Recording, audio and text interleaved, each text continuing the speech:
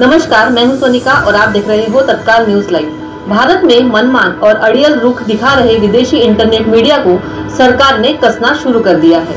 देश में कानून व्यवस्था के लिए खतरा बनने वाले मैसेज के बारे में भी सरकार को जानकारी देने से बचने के लिए हाईकोर्ट पहुँचे व्हाट्सएप से ही उसकी शुरुआत हो सकती है। माना जा रहा है कि व्हाट्सएप खुद भी अपनी दलील में घिर सकता है।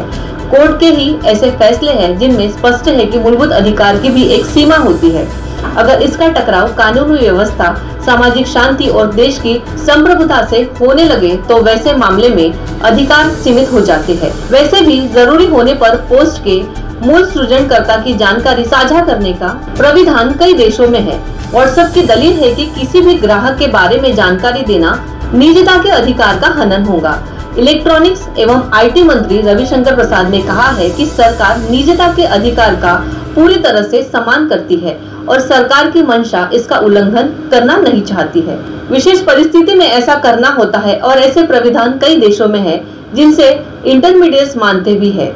उन्होंने स्पष्ट कर दिया है कि जब देश की सुरक्षा और सप्रभुता पर सवाल हो, कानून व्यवस्था का मसला हो दुष्कर्म या बाल यौन शोषण जैसे मामलों से जुड़े लोगों को सजा दिलाने के लिए इसकी ज़रूरत पड़े या फिर किसी देश के साथ संबंध का मामला हो तो ज़रूरी है कि आपत्तिजनक पोस्ट करने वाले के बारे में जानकारी दी जाए। सरकार का कहना है कि मैसेज के मूल सृजनकर्ता की जानकारी की ज़रूरत तब पड़ेगी जब अन्य सभी माध्यम अपराध उजागर करने में नाकामयाब हो जाएँगे।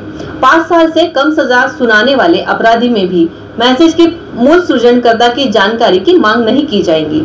मंत्रालय ने कहा कि इस प्रकार के मैसेज के मूल सृजनकर्ता की जानकारी साझा करने के निर्देश अमेरिका, ब्रिटेन, ऑस्ट्रेलिया, कनाडा जैसे देश जारी कर चुके हैं। इंटरनेट मीडिया के लिए जारी सरकारी निर्देशों के बारे में प्रसाद ने कहा, भारत की तरफ़ से रखे किसी भी प्रस्ताव से व्हाट्सएप का सामान्य कामकाजी किसी भी तरीके से प्रभावित नहीं होगा। वैसे ही सामान्य सृजन पर भी इसका कोई असर नहीं होगा।